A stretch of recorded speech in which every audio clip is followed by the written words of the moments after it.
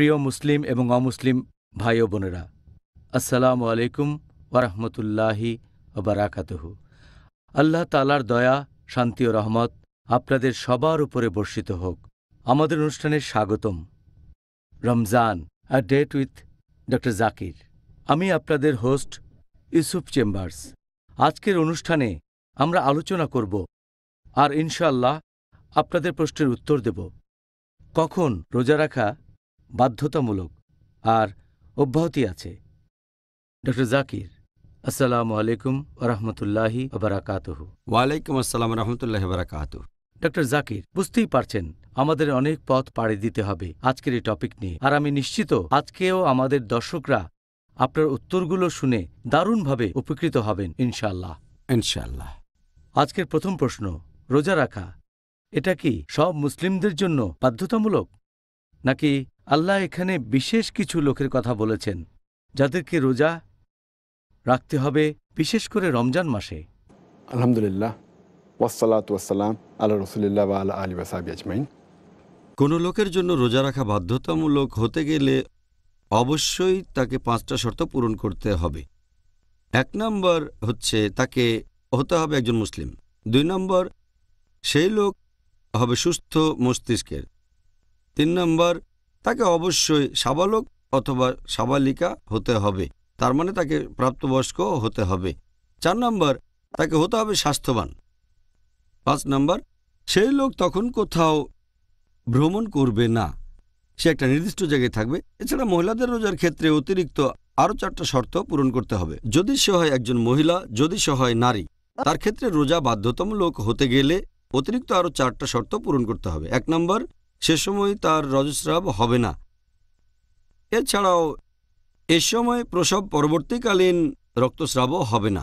বাচ্চাকে নিজে দুধ খাওয়াবে না অথবা গর্ভবতী থাকবে না। তাহলে মহিলাদের ক্ষেত্রে এই সময় নয়টা শর্তের সবগুলো পূরণ হলে তখন তার জন্য রোজা বাধ্যতামূলক হবে। আর পুরুষদের ক্ষেত্রে প্রথম পাঁচটা শর্ত পূরণ হলে রমজান মাসে রোজা রাখা তাদের জন্য বাধ্যতামূলক হয়ে যাবে। তাহলে আপনি যা বললেন, সেটা থেকে আমি যেটা বুঝলাম তা হলো, রোজা, এটা শুধু মুসলিমদের জন্য বাধ্যতামূলক। কথাটা ঠিক? ঠিক বলেছেন। শুধুমাত্র মুসলিমদের জন্যই রোজা রাখাটা বাধ্যতামূলক। কোনো অমুসলিম বা অবিশ্বাসীদের জন্য রোজা রাখা বাধ্যতামূলক না। এর কারণ হচ্ছে, আল্লাহ তালা বলেছেন, পবিত্র কোরআনে সুরানুর অধ্যায় নম্বর চব্বিশ, আয়াত নম্বর উনচল্লিশ, যে, একজন অবিশ্বাসীর কাজ, তার মানে যে অমুসলিম একজন অবিশ্বাসীর কাজ হলো মরুভূমির মধ্যে মরিচিকার মতো। তৃষ্ণার্ত লোক মনে করে সেখানে পানি আছে, কিন্তু যখন পৌঁছায়, তখন দেখে যে কোনো পানি নেই, কিন্তু সেখানে পাবে আল্লাহকে। তখন আল্লাহ তার কর্মফল পূর্ণমাত্রায় দেবেন এবং আল্লাহ তালা হিসাব গ্রহণে তৎপর। তার মানে পরকালের জীবনে অবিশ্বাসীরা তাদের কাজের ফল কোনো ভালো কিছু পাবে না এবং আল্লাহ হিসাব গ্রহণে তৎপর। তাহলে অবিশ্বাসীদের সব কাজগুলোই পরকালের জীবনে মূল্যহীন, কারণ প্রত্যেকটা কাজের শুরুতেই থাকতে হবে নিয়ত। আর এটা নিয়ে আলোচনা করেছি গতকাল, যে কারও রোজা কবুল করার ক্ষেত্রে অন্যতম গুরুত্বপূর্ণ একটা শর্ত নিয়ত, তার মানে উদ্দেশ্য। আর উদ্দেশ্য হবে এই রোজাটা শুধুমাত্র আল্লাহ সবানা তালার জন্য, অন্য কারও জন্য নয়। তাহলে একজন অমুসলিম, একজন অবিশ্বাসী, যে আল্লাহ সবানা তালাকে বিশ্বাস করে না সে যে আল্লাহ সবানা তালার জন্য নিয়ত করে রোজা রাখবে, এমন প্রশ্ন আসবে না। এই কারণে অবিশ্বাসীদের জন্য রোজা রাখাটা বাধ্যতামূলক না।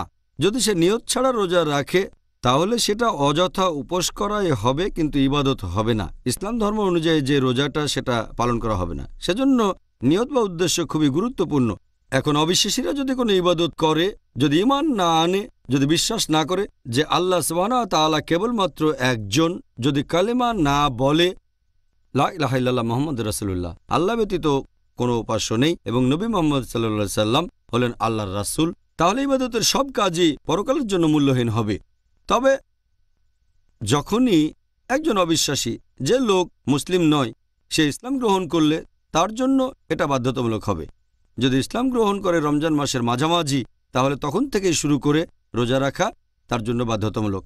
তবে তার অতীত, সেটা আল্লাহ হিসাব করবেন না। আল্লাহ সামানতাল্লাহ বলেছেন পবিত্রকরণে সুরা আনফাল, অধ্যায় নম্বর আট, আয়াত নম্বর আটত্রিশ, যে অবিশ্বাসীদের বলো, যদি তারা বিশ্বাস করা শুরু করে, অতীত ক্ষমা করা হবে। তার মানে যখন একজন অমুসলিম ইসলাম ধর্ম গ্রহণ করবে, তার অতীতের সব পাপ ক্ষমা করা হবে।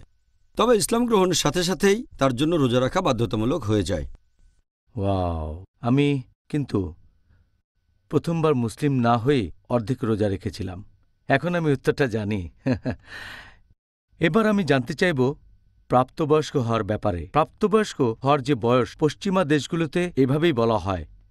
কিছু কিছু দেশে একজন ছেলে বা মেয়ে প্রাপ্তবয়স্ক হচ্ছে আঠারো বছর বয়সে। আবার কোথাও সেটা হয়তো চোদ্দ, সবচেয়ে কম হল চোদ্দ বছর। ইসলাম, এই প্রাপ্তবয়স্ক হওয়ার বয়স সম্পর্কে কি বলে? পৃথিবীর বিভিন্ন দেশের আইনের কথা যদি বলতে হয় ভারতে প্রাপ্তবয়স্ক হওয়ার বয়স হচ্ছে আঠারো বছর ইন্দোনেশিয়া ১৯ বছর, যুক্তরাজ্যে সেটা আবার ১৬ বছর। প্রত্যেক দেশে প্রাপ্তবয়স্ক হওয়ার যে বয়সটা, সেটা সেই দেশের সরকার লোকজন যেরকম মনে করে, সেটা অনুযায়ী আইনটা এক এক দেশে এক এক রকম হয়ে থাকে। কিন্তু ইসলামে রোজা রাখা ফরজ হয়, নামাজ পড়া ফরজ হয়, ইবাদত করা ফরজ হয়ে যায় যখন সে সাবালক বা সাবালিকা হয়ে যায়। এখানে মূলত শর্ত হচ্ছে তিনটা। যদি এই তিনটার যে কোনো একটা শর্ত পূরণ হয়, তাহলে ধরা হবে যে সেই ছেলে বা মেয়ে প্রাপ্তবয়স্ক। এক নম্বর হচ্ছে তার শরীরের বিভিন্ন অংশে লোম গজানো শুরু করা। দুই নম্বর, ছেলে বা মেয়ের বয়স যখন পনেরো বছর, অথবা ছেলেদের ক্ষেত্রে বীর্যস্খলন হচ্ছে, স্বপ্নদোষ বা এরকম কোনোভাবে, অথবা যদি মেয়ে হয়, তখন যদি তার রজস্রাব শুরু হয়ে যায়। যখন থেকে একটা মেয়ের রজস্রাব শুরু হবে তখন থেকেই তাকে প্রাপ্তবয়স্ক বলে ধরা হবে। হতে পারে তার বয়স দশেরও কম কিন্তু যেদিন থেকে তার রজস্রাব শুরু হবে সেদিন থেকেই তাকে ধরে নেওয়া হবে যে সে তখন প্রাপ্তবয়স্ক বা সাবালিকা হয়ে গেছে। এই ব্যাপারটা বেশ ইন্টারেস্টিং কারণ আপনি তখন বললেন যে একটা মেয়ে দশ বছর বয়সে প্রাপ্তবয়স্ক হতে পারে আর পশ্চিমা দেশেও এরকম বলা হয়। আর এখনকার দিনে এটা বেশ কমন এই কয়েক মাস আগে পেপারে একটা আর্টিকেল এসেছিল যে দিল্লিতে এটা অস্বাভাবিক না, দশ বছরের একটা মেয়ের রজস্রাব শুরু হয়ে গেছে। যদি নয় বছরের কমে শুরু হয়ে যায়, তখন সেটা একটা দুশ্চিন্তার ব্যাপার। পশ্চিমা দেশগুলোতে একই। আগে ব্যাপারটা এমন ছিল না যখন আমি মেডিকেল কলেজে পড়তাম। তখন পশ্চিমা দেশে বয়সটা ছিল বারো বা ১৩ ভারতে ছিল তেরো চোদ্দ।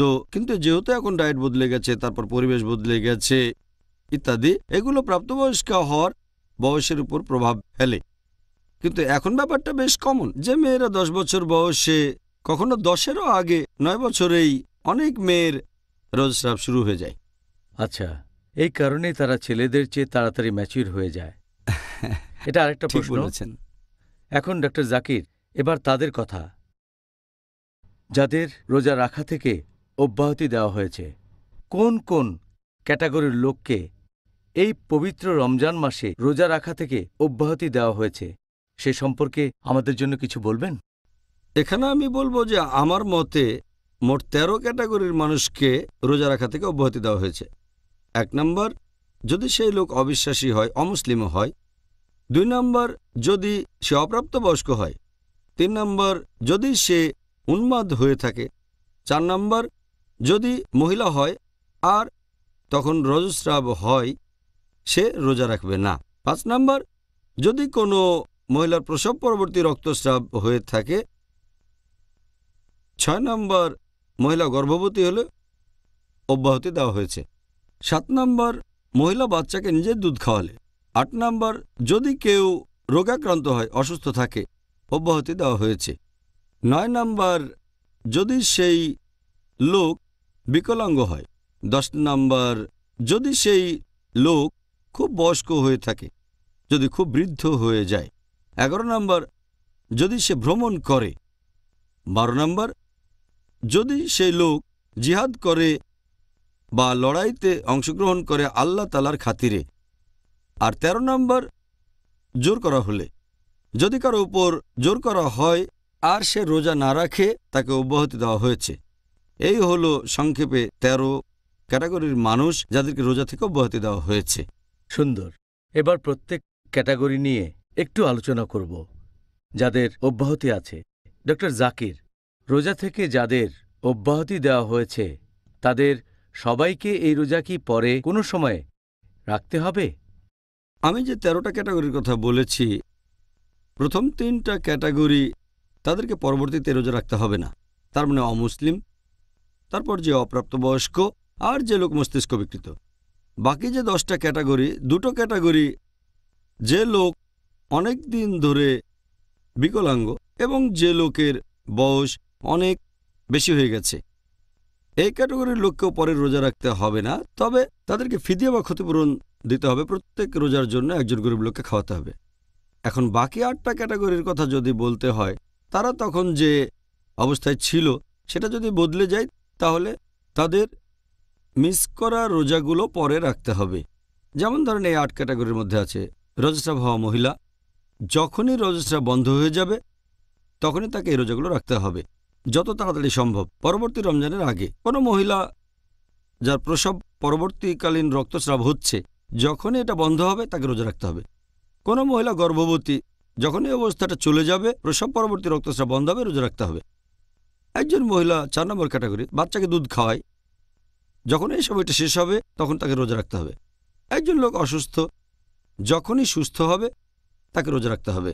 একইভাবে একজন ভ্রমণ করছে, যখনই তার ভ্রমণ শেষ হবে, সে রোজা রাখবে। আবার একজন যে অংশ নিয়েছে জিহাদে, আল্লাহ তালার খাতিরে কোনো লড়াইতে, যখনই লড়াই শেষ হবে, তাকে রোজা রাখতে হবে। একইভাবে যার উপর জোর করা হচ্ছে, আর সে রোজা রাখছে না, যখনই জোর জবস্তি উঠে যাবে তাকে রোজা রাখতে হবে। তবে তাদেরকে এই রোজাটা রাখতে হবে পরবর্তী রমজানের আগেই। ডক্টর জাকির কোনো শিশু যদি প্রাপ্তবয়স্ক হওয়ার আগে রমজান মাসে রোজা রাখে সে ব্যাপারে আপনার মন্তব্য কি? আমি এ ব্যাপারে আগেও বলেছি যে প্রাপ্তবয়স্ক হয়নি তার জন্য রোজা রাখাটা বাধ্যতামূলক না তাকে অব্যাহতি দেওয়া হয়েছে। আমাদের প্রিয় নবী মোহাম্মদ সাল্লাম বলেছেন এই হাদিসটা আছে তিরমিজিতে। হাদিস নম্বর এক হাজার চারশো তেইশ। আমাদের প্রিয় নবী বলেছেন যে, তিন ক্যাটাগরির মানুষের হিসাব লেখা হবে না। এক হচ্ছে শিশু, যতক্ষণ সে প্রাপ্তবয়স্ক না হয়, একজন ঘুমন্ত লোক যতক্ষণ না জেগে ওঠে, আর মস্তিষ্ক বিকৃত লোক যতক্ষণ না সে স্বাভাবিক হয়। এই তিন ক্যাটাগরির মানুষ, আমাদের প্রিয়নবী বলেছেন, তাদের হিসাব লেখা হবে না, তার মানে তাদের জন্য রোজা রাখাটা বাধ্যতামূলক না।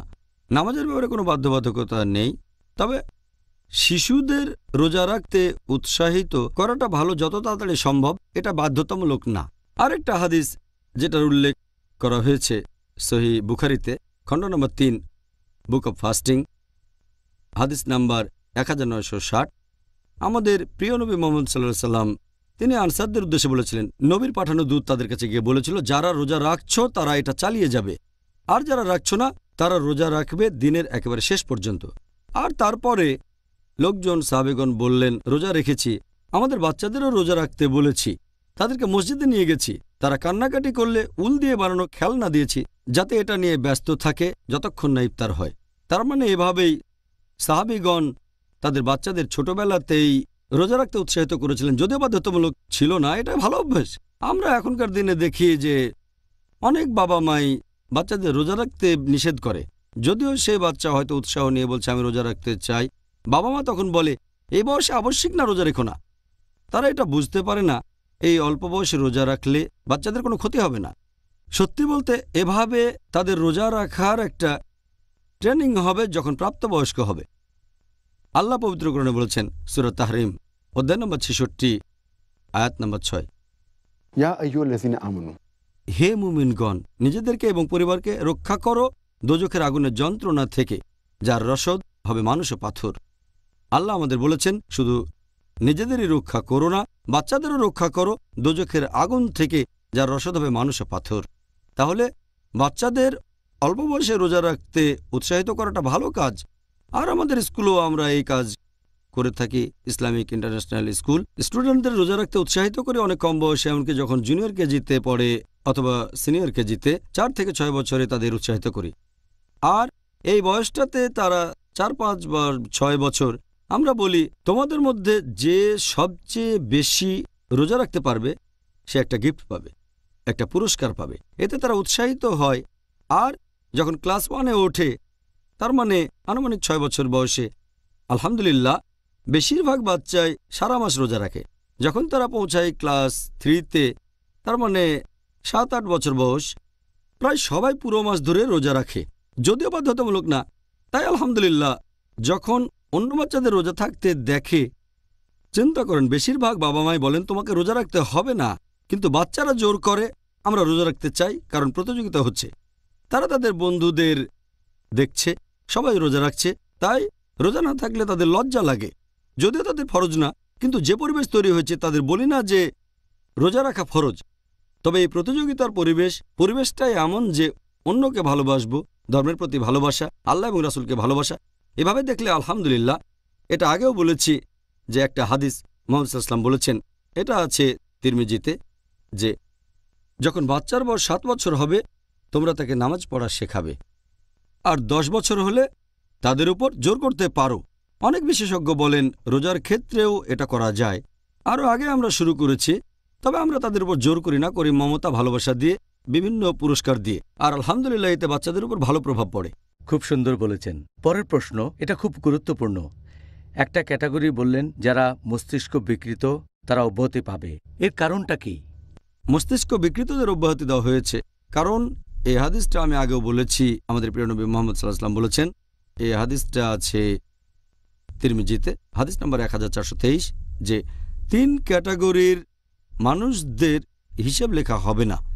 একজন শিশু যতক্ষণ না প্রাপ্তবয়স্ক হচ্ছে, ঘুমন্ত লোক যতক্ষণ না জেগে ওঠে আর মস্তিষ্ক বিকৃত লোক যতক্ষণ না সুস্থ স্বাভাবিক হচ্ছে। এদেরকে অব্যাহতি দেওয়া হয়েছে, তাদের রোজা রাখতে হবে না। এটার কারণ হচ্ছে যে রোজা কবুল হওয়ার অন্যতম একটা শর্ত হচ্ছে নিয়ত করতে হবে। আর নিয়ত শুধুমাত্র সেই মানুষই করতে পারবে যে সুস্থ মস্তিষ্কের, সুস্থ মনের অধিকারী। সুস্থ মস্তিষ্কের হলেই সে রোজার নিয়ত করতে পারবে। বিকৃত মস্তিষ্ক হলে করতে পারবে না। এ কারণে মস্তিষ্ক বিকৃত কেউ রোজা রাখুক বা না রাখুক তাতে কিছুই যায় আসে না। তাকে অব্যাহতি দেওয়া হয়েছে আর সে সুস্থ হয়ে গেলে তাকে এটা পূরণও করতে হবে না। যে রোজা মিস করেছে কারণ সে এটার জন্য দায়ী নয়। তাকে দায়ী করা হবে না। এটাই হলো ইসলামের সৌন্দর্য। এখানে শুধুমাত্র তাদেরই দায়ী করা হবে যাদের দায়ী করা উচিত। শুধুমাত্র তাদের দায়ী করা হবে যারা নিয়ত করতে পারেন সজ্ঞানে। ঠিক বলেছেন। আচ্ছা সুন্দর বলেছেন। পরের প্রশ্ন একজন মহিলার দৃষ্টিকোণ থেকে, যার রক্তস্রাব হয়েছে অথবা প্রসব পরবর্তী রক্তস্রাব, তাদের জন্যে রোজা রাখা নিষিদ্ধ নাকি ঐচ্ছিক? কোনটা? এরকম মহিলার কথা যদি বলেন, যার রজস্রাব শুরু হয়ে গেছে বা প্রসব পরবর্তী রক্তস্রাব, আমাদের প্রিয় নবী বলেছেন, হাদিসটা সহি বুখারিতে আছে। এছাড়াও সহি মুসলিমে, সেই মহিলার জন্য রোজা রাখা নিষিদ্ধ, যার রজস্রাব অথবা প্রসব পরবর্তী রক্তস্রাব চলছে। এ সময় এটা ঐচ্ছিক না, এটা নিষিদ্ধ। আর এর পেছনে কারণটা হচ্ছে, যখন কোনো মহিলার শরীর থেকে রক্ত বের হয়ে যায়, সে অনেক রক্ত হারায়। আর এ অবস্থায় যদি রোজা রাখে সে, তার স্বাস্থ্যের জন্য ভালো হবে না। আল্লাহ সাবানা তালা এখানে দয়া করেছেন, এই মহিলাকে অব্যাহতি দিয়েছেন, আর আবশ্যিক করেছেন যে তারা রোজা রাখবে না, তা না হলে তাদের স্বাস্থ্যের ক্ষতি হতো। আর আল্লাহ সাবানা তালা মানুষের উপর অতিরিক্ত বোঝা চাপাতে চান না। সে কারণেই এই মহিলাদের রোজা থেকে অব্যাহতি দেওয়া হয়েছে। আর এমনকি দিনের মাঝ সময়েও যদি কারও রজস্রাব শুরু হয়ে যায়, রোজা ভেঙে ফেলতে হবে। যদি সেটা সূর্যাস্তের কয়েক মিনিট আগেও হয়ে যায়, রোজা ভেঙে ফেলতে হবে। তবে এই রোজাটা পরে রাখতে হবে। আবার ধরেন কারও রজস্রাব শুরু হয়েছে আর সেটা শেষ হলো ফজরের ওয়াক্তের ঠিক আগে আগে, তখন যদি মহিলা গোসল নাও করে, রোজা রাখতে পারে। কিন্তু যদি শেষ হয় ফজর ওয়াক্তের কয়েক মিনিট পরে রোজা রাখতে পারবে না, রোজা ভেঙে ফেলতে হবে। আর এই রোজাটা পরে রাখতে হবে। ঠিক আছে। এবারের প্রশ্নটা হচ্ছে সেরকম কোনো মহিলা সম্পর্কে যে গর্ভবতী অথবা যে তার বাচ্চাকে নিজের দুধ খাওয়াচ্ছে এদের অব্যাহতি দেওয়া হয়েছে কেন? পবিত্র কোরআনের আয়াত বলছে সুরা বাকারা অধ্যায় নম্বর দুই আয়াত একশো পঁচাশি যে যদি কেউ অসুস্থ থাকে বা ভ্রমণ করে সে তাহলে এই সময়ের রোজাগুলো পরে রাখতে পারে। তো বেশিরভাগ ফুকাহা, বেশিরভাগ বিশেষজ্ঞ, তারা বলেন, যে মহিলা গর্ভবতী বা দুধ খাওয়ান, তারা সেই ক্যাটাগরিতে পড়বে যারা অসুস্থ। সেজন্য তারা চাইলে রোজাটা নাও রাখতে পারে। তবে এ ব্যাপারে একটা ক্লিয়ার কাট সহি হাদিস আছে, যেখানে নবী এই মহিলাদেরকে রোজা রাখা থেকে অব্যাহতি দিয়েছেন। হাদিসটা আছে সুন্নান ইবনে মাজা। হাদিস নাম্বার এক হাজার ছয়শো সাতষট্টি, যে আমাদের প্রিয় নবী বলেছেন, একজন ভ্রমণকারীকে রোজা রাখা এবং নামাজের কিছু অংশ থেকে অব্যাহতি দেওয়া হয়েছে। আর রোজা থেকে অব্যাহতি দেওয়া হয়েছে সেই মহিলাদেরকে যারা গর্ভবতী এবং যারা দুধ খাওয়ায়। আমাদের প্রিয় নবী মোহাম্মদ সাল্লাম আরও বলেছেন, এই হাদিসটা আছে সুনাল নিসাইতে, বুক অব ফাস্টিং, হাদিস নম্বর দুই হাজার দুইশো চুয়াত্তর, যে আল্লাহ তালা ভ্রমণকারীদেরকে অব্যাহতি দিয়েছেন রোজা রাখা থেকে, নামাজের অর্ধেক থেকে এবং আল্লাহ তালা অব্যাহতি দিয়েছেন গর্ভবতী মহিলাদের এবং যে মহিলারা দুধ খাওয়ায় রোজা থেকে। এই দুই হাদিসের উপর ভিত্তি করে এটা পরিষ্কার যে গর্ভবতী মহিলারা আর যে মহিলারা দুধ খাওয়ায় তাদের অব্যাহতি দেওয়া হয়েছে। এখানে লজিক্যাল কারণ হিসেবে বলা যেতে পারে যে যখন কোনো মহিলা গর্ভবতী থাকে অথবা বাচ্চাকে দুধ খাওয়ায়, সে যে খাবার খায় সেটা শুধু নিজের জন্যই খায় না, খাবারটা তার জন্য, এছাড়াও যে শিশুটা গর্ভে আছে অথবা যাকে দুধ খাওয়াচ্ছে তার জন্য। এখন সেই মহিলা রোজা রাখা তার নিজের জন্য বা বাচ্চার জন্য কঠিন হয়ে যায় বলে সে রোজা থেকে অব্যাহতি পেয়েছে। কিন্তু মহিলা যদি গর্ভাবস্থায় প্রথম স্টেজে থাকে, আর মনে করে অথবা দুধ খাওয়াচ্ছে, আর মনে করে যে রোজা রাখলে তার শরীরের কোনো ক্ষতি হবে না, অথবা তার বাচ্চারও কোনো ক্ষতি হবে না, তাহলে রোজা রাখতে পারে। যদি তার সন্দেহ থাকে যে রোজা রাখলে তার কষ্ট হবে, যদি এতে তার কোনো ক্ষতি না হয় তার স্বাস্থ্যের অথবা বাচ্চার, তাহলে রোজা রাখতে পারে, নাও পারে। তবে যদি এতে তার শরীরের ক্ষতি হয় অথবা বাচ্চার ক্ষতি তাহলে রোজা রাখা তার জন্য হারাম। কারণ আল্লাহ তালা কোনো মানুষের উপর তার সাধ্যের অতিরিক্ত বোঝা চাপিয়ে দিতে চান না। আর এভাবে দেখলে এ কারণে আল্লাহ তাদের অব্যাহতি দিয়েছেন। পরে যখন তারা সুস্থ হবে দুধ খাওয়ানো বন্ধ করবে অথবা গর্ভাবস্থা শেষ হয়ে যাবে প্রসব পরবর্তী রক্তস্রাবের পরে তাদেরকে মিস করা রোজাগুলো রাখতে হবে পরবর্তী রমজানের আগে। ডক্টর জাকির আচ্ছা কোনো লোক যদি কিছুটা অসুবিধায় পড়ে, কোনো ধরনের অসুস্থতার কারণে মাথা বা পেটে ব্যথা, তাদেরও কি রোজা থেকে অব্যাহতি দেওয়া হয়েছে? যে মানুষটা অসুস্থ তাকে অব্যাহতি দেওয়া হয়েছে, আল্লাহ পবিত্রকরণে বলেছেন, সুরা বাকারা, অধ্যায় নম্বর দুই, আয়াত একশো পঁচাশি, যে যদি কেউ অসুস্থ থাকে অথবা ভ্রমণ করে, তাহলে তাকে সেই সময়কার রোজাগুলো পরবর্তীতে রাখতে হবে। তবে তার মানে এই না যে কেউ যদি ভুগতে থাকে মাথা ব্যথায় অথবা পেট ব্যথায় অথবা কফে, সে রোজা রাখবে না। যদি কোনো ব্যক্তি অসুস্থ অবস্থায় রোজা রাখতে পারে, রোজা রাখা তার জন্য বাধ্যতামূলক। শুধুমাত্র তখন অব্যাহতি দেওয়া হয়েছে যদি অসুস্থতার কারণে তার রোজা কঠিন হয়ে যায়, অথবা রোজা রাখলে তার অসুস্থতা আরও বেড়ে যায়, অথবা স্বাস্থ্য খারাপ হয়ে যায়, অথবা অসুস্থতার কারণে যদি ওষুধ খাওয়া বাধ্যতামূলক হয়, তখন অব্যাহতি দেওয়া হয়েছে। এটা আমাদের ছোটোখাটো কারণে বা ছোটোখাটো অসুখে যেমন কফ বা সর্দি, মাথা ব্যথা বা পেট ব্যথা, তখন রোজা বাধ্যতামূলক। আল্লাহ তাআলা অসুস্থ লোকদের রোজা থেকে অব্যাহতি দিয়েছেন, কারণ আল্লাহ তালা কারও উপর অতিরিক্ত বোঝা চাপাতে চান না। আল্লাহ পবিত্রকরণে বলেছেন, এটা আছে সুরা বাকারা, অধ্যায় নম্বর দুই, আয়াত নম্বর একশো পঁচানব্বই, যে তোমরা নিজের হাতে নিজেদের ধ্বংসে নিক্ষেপ করো না। আমি অসুস্থ, আর যদি মনে করি রোজা রাখলে আমার ক্ষতি হতে পারে, স্বাস্থ্য খারাপ হয়ে যাবে, নিজেকে মেরে ফেলার মতোই, তাই আল্লাহ বলেছেন এটা নিষিদ্ধ। যদি আমি জানি যে রোজা রাখলে স্বাস্থ্য খারাপ হয়ে যাবে, তখন এটা হবে নিষিদ্ধ। একইভাবে আল্লাহ বলেছেন পবিত্র কোরআনে সুরা নিসা, অধ্যায় নম্বর চার, আয়াত নম্বর উনত্রিশ, যে নিজেদেরকে হত্যা করো না। নিশ্চয় আল্লাহ তাআলা পরম দয়ালু। তাহলে নিজের স্বাস্থ্যের ক্ষতি করা নিজের কোনো ক্ষতি করা এটা ইসলাম অনুযায়ী নিষিদ্ধ। এই অব্যাহতিটা দেওয়া হয়েছে সেই সব মানুষকে যাদের রোজা রাখা কষ্টকর অথবা যাদের স্বাস্থ্য খারাপ হয়ে যাবে তবে ছোটখাটো অসুখে অব্যাহতি নেই। আচ্ছা তাহলে অব্যাহতি পাবে তারা যারা গুরুতরভাবে অসুস্থ। এবারে আমাদের পরের প্রশ্ন এটা হচ্ছে একজন বিকলাঙ্গ মানুষ নিয়ে। এই নিয়মটা কেন যে একজন বিকলাঙ্গ মানুষকে মিস করা রোজাগুলোর জন্য ক্ষতিপূরণ দিতে হবে। আল্লাহ পবিত্র করণে বলেছেন, সুরা বাকারা, অধ্যায় নম্বর দুই, আয়াত নম্বর একশো চুরাশি, যে যদি রোজা রাখা কারোর জন্য কঠিন হয়ে যায়, সে রোজা রাখতে পারে অথবা ক্ষতিপূরণ দেবে। তার মানে কোনো গরিব বা অভাবগ্রস্তকে খাইয়ে দিতে হবে। এর কারণ হলো, যদি কেউ বিকলাঙ্গ হয় অথবা স্থায়ীভাবে অসুস্থ হয়, এমন কোনো সম্ভাবনা নেই যে সুস্থ হয়ে সে তারপর আবার রোজা রাখতে পারবে। তাহলে সে পরে পূরণ করবে বা পরবর্তীতে মিস করা রোজাগুলো রাখবে, এই প্রশ্নটাই তখন আর আসবে না তার বেলায়। সেজন্য তাকে দিতে হবে ক্ষতিপূরণ। তখন সে কোনো গরিব লোককে খাইয়ে দেবে। যতগুলো রোজা সে মিস করবে, প্রত্যেক রোজার জন্য সে একজন গরিব লোককে খাইয়ে দেবে। ডক্টর জাকির, এবারের প্রশ্ন, কোন ধরনের বৃদ্ধ লোকদের রোজা থেকে অব্যাহতি দেওয়া হয়েছে। আল্লাহ পবিত্র করণে বলেছেন, সুরা বাকারা, অধ্যায় নম্বর দুই, আয়াত নম্বর একশো চুরাশি, যে যদি রোজা রাখা কারোর জন্য কঠিন হয়ে যায়, সে রোজা রাখতে পারে অথবা ক্ষতিপূরণ দেবে মানে গরিব লোককে খাইয়ে দেবে। যেসব বৃদ্ধ লোকদের রোজা থেকে অব্যাহতি দেওয়া হয়েছে, তারা হচ্ছেন সেই লোক যাদের শরীর যদি রোজা রাখেন, তাহলে খারাপ হয়ে যেতে পারে। যে লোকের বয়স অনেক বেশি হয়ে গেছে, এখানে বয়সটা নির্দিষ্ট কিছু না যে ষাট, সত্তর বা আশি, নব্বই, দেখতে হবে শারীরিক অবস্থা। বয়স হয়ে যাওয়ার কারণে যদি শারীরিক অবস্থা খারাপ থাকে, তাহলে রোজা রাখা কঠিন হয়ে যায়। তখন রোজা রাখার পরিবর্তে গরিব লোককে খাইয়ে দিতে হবে। আর একটা হাদিস আমাদের প্রিয়নবী মোহাম্মদ সাল্লাহ সাল্লামের সহি বুখারি, খণ্ড নম্বর ছয়, হাদিস নাম্বার চার হাজার পাঁচশো পাঁচ। আমাদের প্রিয়নবী বলেছেন যে, বয়স্ক পুরুষ এবং মহিলাদের রোজা রাখতে হবে না। তবে তারা প্রত্যেক রোজার জন্য একজন করে অভাবগ্রস্ত লোককে খাইয়ে দেবেন।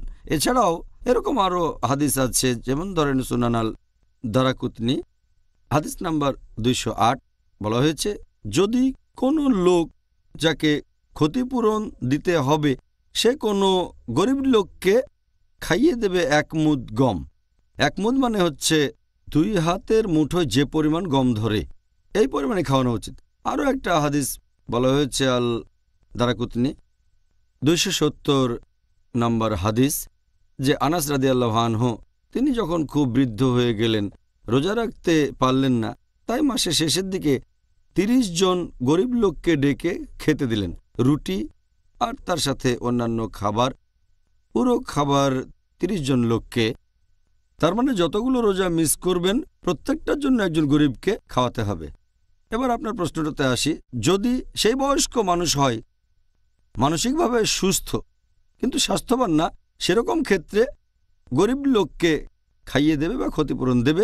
আবার কোনো বয়স্ক লোক যদি মানসিক বিকারগ্রস্ত হয়ে থাকে, মানসিকভাবে সুস্থ না থাকে, তাহলে তাকে রোজা রাখতে হবে না, অব্যাহতি দেওয়া হয়েছে। গরিব মানুষকে খাইয়ে তার ক্ষতিপূরণও দিতে হবে না, কারণ সে তখন শিশুর মতো। আমাদের নবী বলেছেন, কথাটা আমি আগেও বলেছি, যে তিন ক্যাটাগরির মানুষের হিসেব লেখা হবে না। যে এখনও শিশু, প্রাপ্তবয়স্ক হয়নি, এই অসুস্থ বৃদ্ধ শিশুদের মতোই, অথবা তারা মানসিক বিকারগ্রস্ত লোকের মতো, বার্ধক্যজনিত কারণে মানসিক জড়তায় ভুগছে বয়স হয়ে গেলে মানসিক সুস্থতা আগের মতো থাকে না তাদের রোজা রাখতে হবে না অথবা রোজা মিস করার জন্য খাওয়াতেও হবে না কাউকে কোনো ক্ষতিপূরণ দিতে হবে না। আচ্ছা তাহলে এ ব্যাপারে উত্তরটা জানলাম। এখন যদি কেউ ভ্রমণ করে তখন তার জন্যে রোজা রাখাটা কি নিষিদ্ধ নাকি ঐচ্ছিক?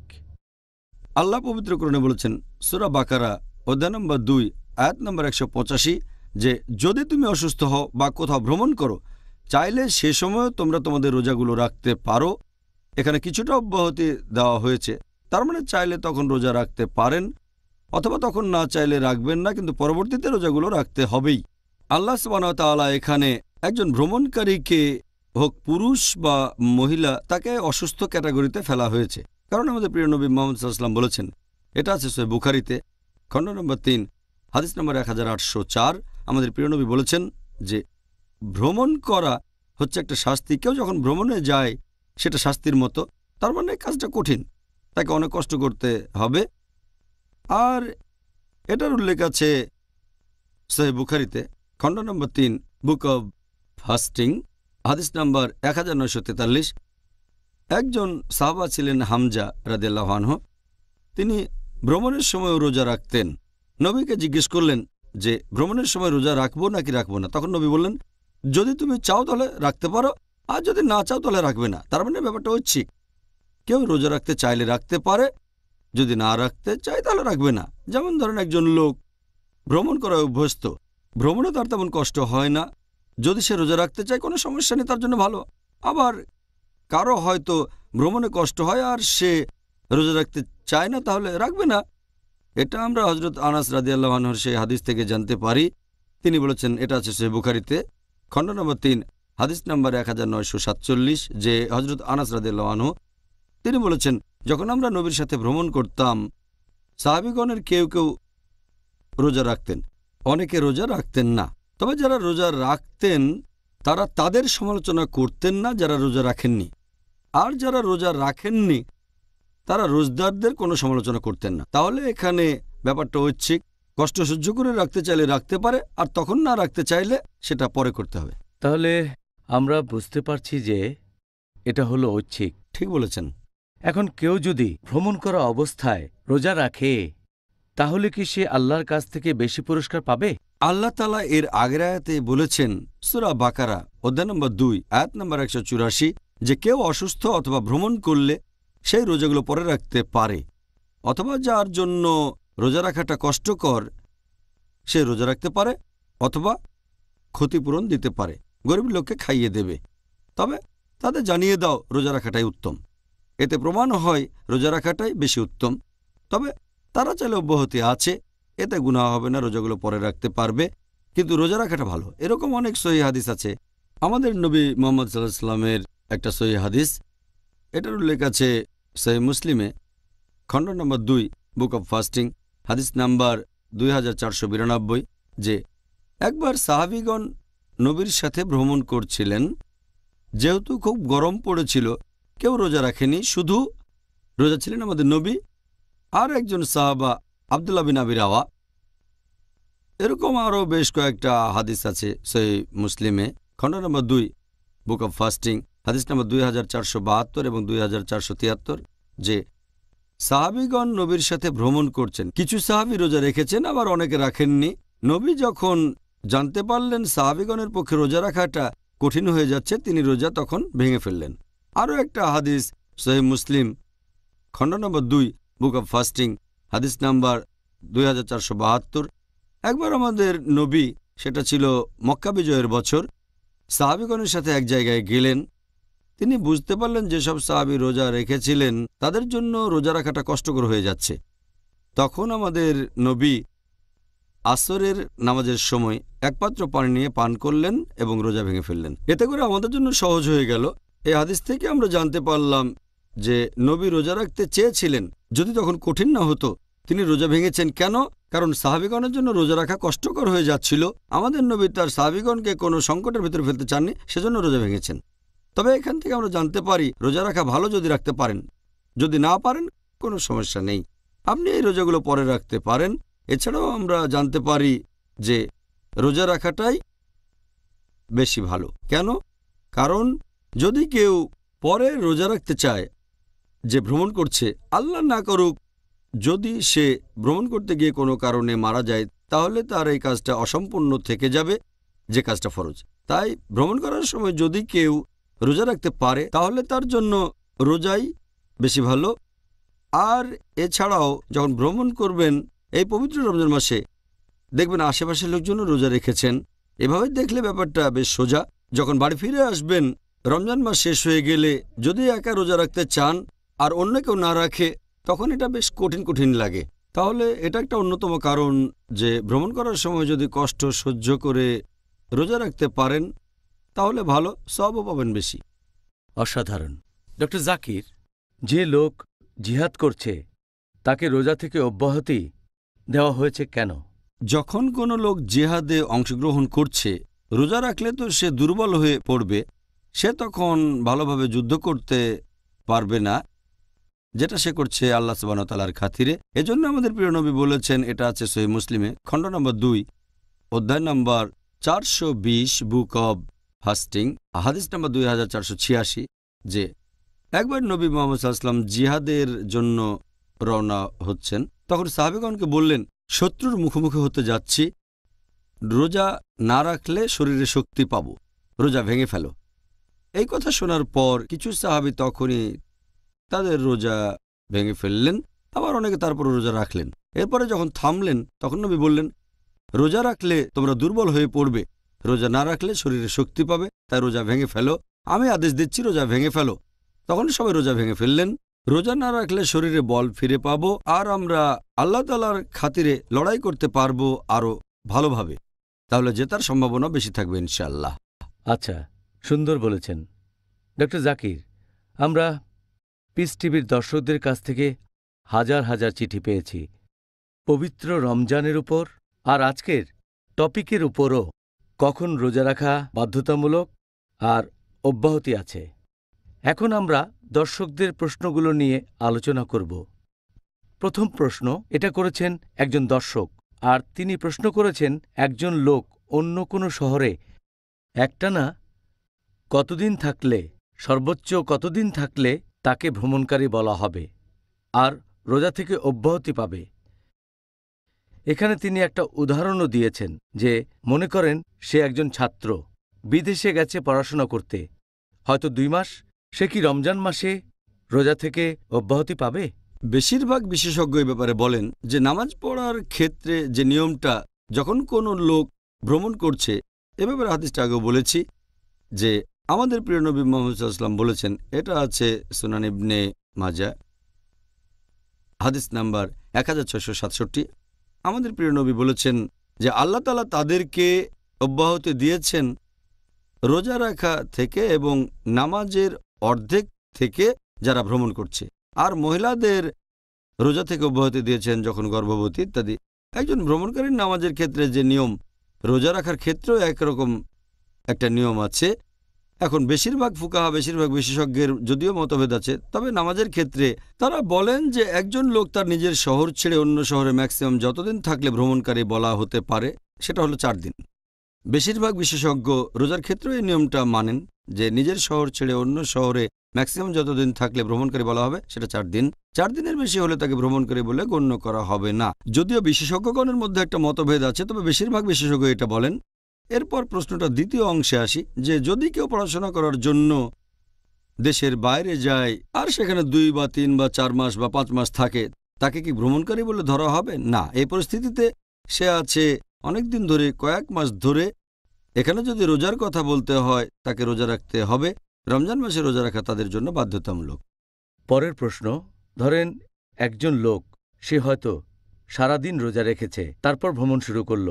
হয়তো বিকেলে রোজা অবস্থায় বিকেলে ভ্রমণ শুরু করল। তখন তার জন্য রোজা ভাঙা কি বাধ্যতামূলক, নাকি এটা ঐচ্ছিক? এখানে তার জন্যে কোনটা করা ভালো হবে? যদি কেউ তার ভ্রমণ শুরু করে দুপুরে অথবা বিকেলে, অথবা বিকেল পর্যন্ত যদি সে তার নিজের শহরে থাকে, তাহলে রোজা রাখাটা তার জন্য ফরজ। সেই সময়টা ভ্রমণকারীকে শুধু তখনই রোজা ভাঙার অনুমতি দেওয়া হয়েছে যখন নিজের শহর ছেড়ে সে চলে যাবে। যদি সে ঠিক করে যে বিকেলে ভ্রমণ শুরু করবে তাহলে অব্যাহতি নেই যে সেদিন রোজা রাখবে না সে। রোজা রাখতে হবে, কারণ তার প্ল্যানটা বদলাতে পারে। হয়তো বিকেলবেলায় প্ল্যানটা বদলাতে পারে, তখন রোজা না রাখলে গুনাহ হবে। তাহলে একজন ভ্রমণকারী শুধু তখনই রোজা ভাঙতে পারবে যখন শহরের বাইরে যাচ্ছে। শহর ছেড়ে না গেলে ভাঙতে পারবে না। যদি শহরের বাইরে চলে যায় বিকেলবেলায়, তখন ভাঙার অনুমতি আছে। এমন না যে এটা ভাঙতেই হবে। কষ্ট না হলে সে রোজা রাখতে পারে কমপ্লিট করতে পারে। এটা ঐচ্ছিক। আচ্ছা সুন্দর বলেছেন। এবারের প্রশ্ন এটা করেছেন একজন পাইলট আর তিনি প্রায় সবসময়ই ভ্রমণের উপরেই থাকেন প্রত্যেক দিন প্লেনে করে ভ্রমণ করছেন। অনেক লম্বা পথ। তার প্রশ্নটা হল যে তিনি কি সবগুলো রোজা থেকে অব্যাহতি পাবেন? যদি কারও পেশাটা এরকম হয় যে সে পাইলট অথবা সে একজন নাবিক, তাকে ভ্রমণ করতে হয়। নিজের শহর ছেড়ে অন্য জায়গায় যেতে হয়। তাকে ভ্রমণকারী বলে ধরা হবে। সে রোজায় অব্যাহতি পাবে, তবে তাকে এই রোজাগুলো রাখতে হবে। পরবর্তী রমজান মাসের আগেই। যদি সে অনেক বেশি ভ্রমণ করে, তাহলে রোজা রাখতে হবে ছুটির দিনে। যে ছুটির দিনগুলো পাবে, আর যখন নিজের শহরে থাকবে, তাহলে তখন রোজা রাখতে না চাইলে অব্যাহতি আছে। তাকে ভ্রমণকারী বলে ধরা হবে। তবে সে রোজাগুলো রাখবে যত তাড়াতাড়ি সম্ভব। পরবর্তী রমজান মাসের আগেই। যদি না, সে অনেক লম্বা কোনো ফ্লাইটে থাকে, হয়তো ইন্ডিয়া থেকে নিউ ইয়র্ক সময় লাগে বারো ঘন্টারও বেশি। কিন্তু যদি সে ছোট ফ্লাইটে থাকে, আমার মনে হয় না সেখানে সমস্যা আছে। আচ্ছা এবারে পরের প্রশ্ন। ধরেন একজন লোক, সে সৌদি আরবে কাজ করে, অথবা হয়তো সে সৌদি আরবে বসবাস করে। আর গত রমজান মাসে সে রোজা রাখা শুরু করেছে সৌদি আরবে। গত বছর সৌদি আরবে রোজা শুরু হয়েছে দুই দিন আগে। ভারতের চাইতে। লোকটার নিজের দেশ ভারত। সে নিজের দেশে আসলো। আর যখন এসে পৌঁছালো, সে অলরেডি সৌদি আরবে দুই দিন রোজা রেখেছে। তার প্রশ্নটা হলো, সে কি তিরিশ দিন রোজা পালন করবে? নাকি সে যে এলাকায় আছে, তাদের সাথে অতিরিক্ত রোজাগুলো রাখবে? এখন সে কি ভারতের সময়টা ধরবে? নাকি সৌদি আরবের সময়টা ধরবে। তার রোজাগুলো পূরণ করার জন্য? আমাদের নবী মোহাম্মদ সাল্লাহ সাল্লামের হাদিস অনুযায়ী, এই সই হাদিসটার উল্লেখ আছে তিরমিজিতে, বুক অব ফাস্টিং, হাদিস নাম্বার ছয়শো সাতানব্বই। আশেপাশের লোকজনের সাথে তোমরা তোমাদের রোজা রাখা শুরু করো। যদি কোনো দেশে থাকেন বা কোনো জায়গায়, সেখানে লোকজনের সাথে আপনি রোজা রাখা শুরু করবেন। আর আশেপাশের লোকজন যখন রোজা ভাঙবে, তখন তুমিও ভেঙে ফেলবে। যদি সৌদি আরবে থাকেন, তাহলে রোজা রাখবেন সৌদি আরবের লোকজনের সাথে। যদি রমজান মাসের মাঝামাঝি তিনি তার নিজ দেশ ভারতে ফিরে যান, তাহলে ততদিন রোজা রাখবেন যতদিন আশেপাশের লোক রোজা আছে। আর আমি জানি এসব ক্ষেত্রে বেশ কয়েকদিনের পার্থক্য থাকে। যদি রোজা শুরু হয় দু একদিন আগে, তাহলে আসলেন ভারতে। ততদিনে আপনি তিরিশটা রোজা রেখেছেন। তখনও হয়তো ভারতে একটা বা দুটো রোজা বাকি আছে। তারপর আপনাকে রোজা রাখতে হবে। ভারতের লোকজনের সাথে, যদিও তখন সেটা তিরিশ দিনের বেশি হয়। তবে সেটা হতে পারে একত্রিশ বা বত্রিশ দিন। আর হাদিসটা বলছে, আশেপাশের লোকজনের সাথে তোমরা তোমাদের রোজা রাখো। আর আশেপাশের লোকজন যখন রোজা ভাঙবে, তখন রোজা ভেঙে ফেলো। কিন্তু যদি ব্যাপারটা উল্টে যায়, হয়তো আছে ভারতে দুদিন পরে আবার সৌদি আরবে আসলো, তাহলে হয়তো রোজা রেখেছে আঠাশ দিন। এই ক্ষেত্রে শুরু করেছে ভারতের লোকজনের সাথে, শেষ করবে সৌদি আরবের লোকজনের সাথে। আর ঈদের দিন সে রোজা রাখতে পারবে না, কারণ এটা হারাম। কিন্তু পরে তাকে রোজা রাখতে হবে অন্তত একটা দিন, কারণ রমজান মাস হয় কমপক্ষে উনত্রিশ দিন। সেজন্য তাকে অতিরিক্ত এক বা দুই দিন রোজা রাখতে হতে পারে, যাতে করে সে পূরণ করতে পারে উনত্রিশ বা তিরিশ দিন। এতে করে মনে হবে না সে কম রোজা রেখেছে, উনত্রিশটার চেয়ে কম। এবারের প্রশ্ন, এটা করেছেন একজন ইঞ্জিনিয়ারিংয়ের ফাইনাল ইয়ারের ছাত্র। তার ফাইনাল ইয়ারের যে পরীক্ষাগুলো, সেগুলো হবে সব রমজান মাসে। আমার মনে হয় উনি গত বছরের রমজানের কথা বলছেন। তার বাবা আর মা তাকে উপদেশ দিয়েছে যে রমজান মাসে তার রোজা রাখার দরকার নেই, কারণ এতে তার পরীক্ষা খারাপ হতে পারে। এখন এই কারণে কি কাউকে রোজা থেকে অব্যাহতি দেওয়া হয়েছে? যদি কেউ রোজা না রাখতে চায়, শুধুমাত্র পরীক্ষার কারণে, এটা কোনো যথার্থ কারণ না। হতে পারে সেটা হয়তো ফাইনাল এক্সাম আর হয়তো তার বাবা মা তাকে বলছে যে, রোজা রেখো না, কারণ যদি রোজা রাখো, তাহলে হয়তো তোমার মনোযোগ কমে যাবে। রেজাল্ট খুব একটা ভালো হবে না। যদি বাবা মা জোরাজোরিও করেন, এ ধরনের ক্ষেত্রে সেই সন্তান ছেলে অথবা মেয়ের উচিত বাবা মার কথা না শোনা। কারণ বাবা মা যদি কিছু করতে বলে, আর সেটা যদি আল্লাহ এবং রাসুলের শিক্ষার বিরুদ্ধে যায়, শুধুমাত্র এমন ক্ষেত্রে বাবা মাকে অমান্য করা যাবে। আল্লাহ পবিত্রকরণে বলেছেন, সুরা আনকাবুত। অধ্যায় উনত্রিশ, আয়াত আট। এছাড়াও আছে সুরা লুকমান, অধ্যায় নম্বর একত্রিশ, আয়াত পনেরো, যে যদি তোমার বাবা মা জোর করে বা সংগ্রাম করে, জিহাদ করে, যে তুমি আল্লাহ তালার পাশাপাশি অন্য কারও ইবাদত করবে, তাদের কথা মেনো না। তারপরও তাদের সাথে সৎভাবে, বিশুদ্ধ চিত্তে বসবাস করো। কোরআন আমাদের অনুমতি দিয়েছে, কারণ এটা কোনো আইনসম্মত কারণ না যে যেহেতু তাকে পরীক্ষা দিতে হবে, তাই রোজা রাখা লাগবে না যাতে ভালো নম্বর পেতে পারে। আখেরাতে ভালো নম্বর পাওয়া ফরজ কাজ পালন করা বেশি গুরুত্বপূর্ণ। সেজন্য এটা কোনো যথার্থ কারণ নয়। পরীক্ষা থাকলেও রোজা রাখতে হবে। আর ইনশাল্লাহ আল্লাহ তাকে সাহায্য করবেন, সে হয়তো পরীক্ষায় ভালো নম্বর পাবে। অন্য কারও সাহায্যের চেয়ে আল্লাহর সাহায্য বেশি গুরুত্বপূর্ণ। আল্লাহ পবিত্রকরণে বলেছেন সুরাল ইমরান, অধ্যায় নম্বর তিন, আয়াত নম্বর একশো ষাট, আল্লাহ সাহায্য করলে কেউ তোমাদের সাথে জিততে পারবে না। আল্লাহ সাহায্য না করলে এমন কে আছে যে তোমাদের সাহায্য করবে? তাই মুমিনগণ আল্লাহ তালার উপরই নির্ভর করুক। আর আমার উপদেশ হচ্ছে, সামনে পরীক্ষা থাকলেও রোজা রাখবেন ইনশাল্লাহ মনোযোগ আরও বাড়বে, পরীক্ষায় ভালো নম্বর পাবেন ইনশাল্লাহ আল্লাহর উপর আরও বেশি ভরসা করবেন, এটাই হলো উত্তর, সুন্দর। পরের প্রশ্ন, এটাও ভ্রমণ সম্পর্কে। ভ্রমণকারীর রোজা। মিনিমাম কতখানি দূরত্ব অতিক্রম করলে ভ্রমণকারী রোজা থেকে অব্যাহতি পাবেন। এর উত্তরও হবে নামাজের সেই উত্তরের মতো। কত দূরে গেলে তাকে ভ্রমণকারী বলা যেতে পারে? যাতে করে কাসার করতে পারে, অর্থাৎ নামাজ ছোট করবে, রোজার ক্ষেত্রেও একই নিয়ম। যদিও এই ব্যাপারে মতভেদ আছে, তবে বেশিরভাগ বিশেষজ্ঞ বলেন, এটা হচ্ছে ষোলো ফারসাক। এক ফারসাক মানে তিন মাইল। তার মানে যদি কেউ আটচল্লিশ মাইলের বেশি ভ্রমণ করে, অথবা ভ্রমণ করে আশি কিলোমিটারের বেশি তাকে ভ্রমণকারী বলে ধরা হবে। তবে কিছু বিশেষজ্ঞ বলেন এটা হচ্ছে তিরাশি বা চুরাশি কিলোমিটার। তাই অনেকে বলে কেউ আশি বা চুরাশি কিলোমিটারের বেশি পথ গেলে তাকে ভ্রমণকারী বলে ধরা হবে। তবে মূল ব্যাপারটা হচ্ছে, সে তখন তার নিজের শহরে থাকবে না। কিছু শহর আছে যেগুলো অনেক বড়। শহরের এক মাথা থেকে আরেক মাথায় হয়তো চুরাশি কিলোমিটারের বেশি হবে।